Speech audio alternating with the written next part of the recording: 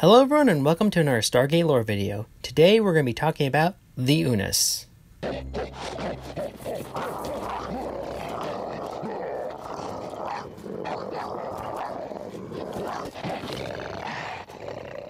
hope you know what you're doing.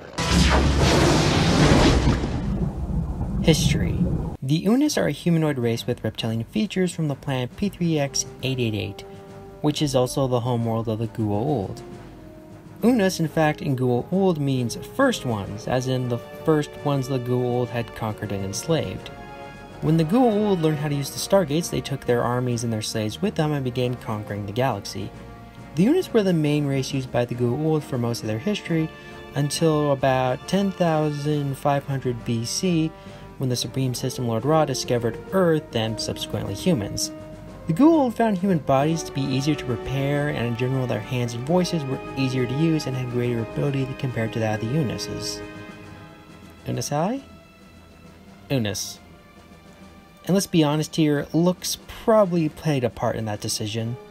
I could have sworn I heard somewhere that Ra had ordered the Goa'uld to stop using Unases as hosts and use humans instead, but I can't remember where I heard it and I can't find any sources backing it up, so kind of ignore that, I guess. The official answer, as far as I can tell, as to why the Goa'uld stopped using the Unases is they just preferred using humans. And as time went on, the Unases were slowly phased out. Though we do know of at least two Goa'uld that continue to use Unases as hosts. The first being a Goa'uld that was trapped in a cave on the planet of Cimmeria by the Asgard, as Cimmeria was a planet protected under the Protected Planets Treaty. This was also the first time the SG-1 had learned the existence of the Unas. The second was a Goa'uld who used an Unas as a host, who was in the service of the system Lord Sokar. This Goa'uld would travel to a planet which only has the name Medieval Planet, and scares the people of the world into offering sacrifices under the guise of him being a demon, before being stopped by SG-1. Interestingly enough, the first Goa'uld we ever met who used an Unas was also apparently in the service of Sokar before being trapped. So I guess Sokar is just kind of weird compared to the other system lords. Then again, when you choose the persona of the devil himself, I guess you are pretty weird. The first time SG-1 encountered Unas not under control of the Goa'uld was on the Unises in Goa'uld's homeworld. Kinda duh there. Where an Unas had attacked the archaeological expedition there and made off with Dr. Jackson. The Unas, named Chaka, planned on sacrificing Daniel as part of a ritual rite of passage, in which case the tribe would eat Dr. Daniel Jackson. However, the two found a way to communicate with each other and had developed a friendship. And when the time came, Chaka asked the Alpha of his tribe to not kill Daniel. When the Alpha refused, Chaka and SG-1 killed the Alpha, which subsequently made Chaka the Alpha. Chaka offered Daniel membership in the tribe, but Daniel politely declined the offer. We would meet Chaka later when SG-1 had learned he had been captured by a group of humans who used the Unas as slaves ever since the Beast Wars. No, but can you imagine? Prior to this, the Unas had ruled the humans as slaves. This was really the Goa'uld using the Unas, so sadly kind of a bit of misplaced blame here. When the Goa'uld had abandoned the planet, as I said, the humans rose up in their beast wars to conquer the Unas. However, as time went on, inbreeding became a problem for the Unas, and it became harder and harder to control. The solution was to find more Unas, and they just happened to have the gate coordinates to the Unas' homeworld. SG-1 would go in and free Chaka, but he wanted to stay and help free his people. We would later find out he did do this and establish some kind of peace between the two races on the planet. Chaka would be encountered for a third and final time to help mediate a dispute between the Unas living on the planet P3X403 and Stargate Command, when Stargate Command was trying to set up a mining operation for Naquadria, but the mines were considered sacred to the Unas, as is where their ancestors died. Despite being a rather tense situation due to skirmishes from both sides, Chaka and Dr. Jackson were able to open up a dialogue with the Unas.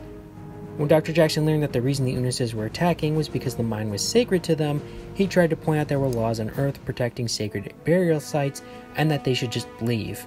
However, when the United States government had learned there was a crap ton of Naquadria on the planet, the only amount they could find that could realistically rescue the Prometheus, which was at this point in time trapped off world, they decided that the only logical course of action would be forced relocation. Ah, America. When Dr. Jackson went to explain to the Unas they pretty much had no choice but to surrender, he was somewhat horrified to learn that there was actually a crap ton of Unas on the planet. And after a soldier had gunned down an Unas for attempting to retrieve a necklace, the Unas made their move and surrounded the camp. Thankfully, diplomacy went out in the end, and Daniel was able to work out a trade deal with them. Essentially, the Unas would mine the Naquadria themselves and give it to Earth to help fight the Goa'uld Uld and assumingly they would also be given food and supplies as an exchange. While this was the final time we saw the Unas, similar to humans due to their time in the Goa'uld Empire, there's probably thousands, if not millions of them throughout the galaxy. We just haven't seen them. Biology Biologically, the Unas were humanoid but appeared to be reptilian in nature. They are an extremely strong and tough species as they can take a full magazine to the chest and still keep fighting though they will eventually die from these injuries. However, a Goa'uld possessing an Unas can take these injuries and survive, unlike a Goa'uld possessing a human who if they were to take these injuries would need the aid of a sarcophagus to survive. Some other minor details about their biology is they have green blood, they have three fingers and a thumb with claws on them, and apparently their vision makes them see in something like this. I've also read that some Unas have developed a natural defense against the Goa'ulds on the back of their necks, although this trait is not present in all Unas. I honestly couldn't figure out where this was, if it was stated in an RPG book or if this was stated in the show. It would make sense this would happen eventually as a product of evolution, but again, I don't know where this came from and I can't really tell in the show if this is true or not. Society. The Unas live in tribal societies in caves or underground, with a single alpha male ruling over the tribe. The role can be passed on, but typically it's to someone who can, well, kill the alpha. For those living on the homeworld, we know they have a rite of passage for their young, where they go out to find worthy prey and bring it back to be feasted on by the tribe. We also know that these Unas have a deep fear of the water, as Goa'uld still live in them. For those living on P3X403, we know they have an understanding things to be considered sacred and will mourn their dead. The Unas in general seem to have an understanding of art, as we saw the ones on the homeworld would draw pictures on their cave walls, and the ones on 430 would make scarecrows to act as a warning to scare away people from the mine. Unas clothing appears to be made out of pelts of fur or really anything they find and decide to add on. Though when Chaka came through to the SGC, he did appear to be wearing more quote unquote civilized clothing. So it's possible that the Unas on the world he had come from had just learned how to make clothing on their own. In Unas society, showing submissiveness is a way of showing you are not a threat, and is the first step in engaging in diplomacy with an Unas. The second is offering a trade with the Unas in question. At that point, you can then begin to, well, talk. For language, the Unas seem to have one singular language that can be spoken by pretty much any Unas no matter where they come from. We have never seen a non possessed Unas speak any other language other than their own fluently, even if they've been around humans all their lives.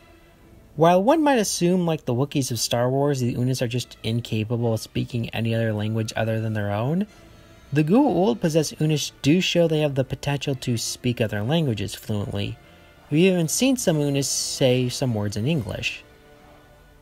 So I think it is possible for Unas to learn other languages, they just never really had a chance to learn other languages.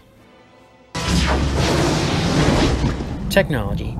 Technologically, the Unas are very primitive compared to most other races we've seen. The highest weapon they've created technologically are spears and stone axes, though given their claws and their strength, it sort of makes sense why they wouldn't make anything else.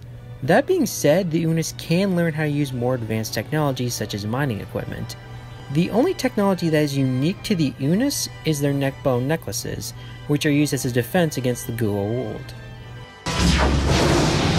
Relations with other races. The Unas, understandably, have very poor relations with the Goa'uld and the Jaffa who serve them, because of the whole slavery thing. Sadly, they also have somewhat poor relations with humans, as Unas attack humans as either prey or without making the reason clear, and humans have either enslaved Unas or view them as monsters or demons due to their appearance. However, thanks to the efforts of people like Daniel and Chaka, human and Unas relations have somewhat been mended. Fun facts. For fun facts, I found two. While we only know of three worlds the Unas lived on in the unmade Stargate video game Stargate Worlds, a fourth planet would have been added. Eh. Hippet? Hippet? Hippet? iPet? iPet. We don't really know anything about this planet other than the fact it has a waterfall, pyramid, two moons, a stargate, a crater that was under the control of the Stargate Union. I'm definitely gonna have to make a video on that in the future and of course a population of Unas. The second is that the Unas had a subspecies called the Kikan, Kikan, Kika, Kikan, Kikan the tiger, Kikan, Khan? I'm going with that. They were introduced in the Stargate SG-1 First Steps, the Stargate Unexplored Worlds role-playing sourcebook. God, that was a mouthful. Anyway, the evolved from a group of Unas that the Goa'uld had abandoned. They were smaller, weaker, and less durable than their Unas cousins, and even lacked claws, though they did apparently have long nails.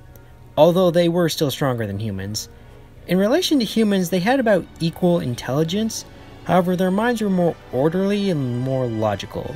While this made them great problem solvers, they were also pretty poor at innovations, while there were those who broke from this mold, they were respected for their accomplishment in relation to the group, but they were not admired for the way they went about it. Another trait that made them different from Unas is they have a bigger commitment to cooperation in their communities. The were also peaceful in nature, but unlike the Nox or the Tollan, they did not shy away from battle, and they were even known to be self-sacrificing if it meant saving the community. And that was the Unas, in my opinion, a very cool alien race. Given how much Stargate relied on the aliens being transplanted humans, it was always nice to see them actually make a proper alien design. And the Unas are a great example of when they do it at their best. They have a cool design, great backstory, are just a lot of fun to watch. Look at that smile. How could you hate anything with that smile?